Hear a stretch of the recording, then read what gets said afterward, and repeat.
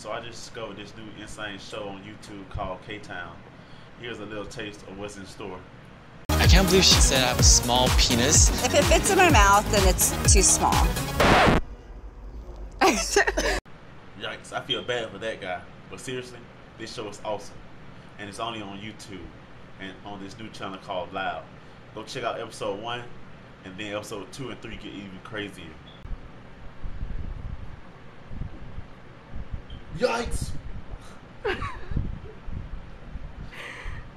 feel bad for that guy.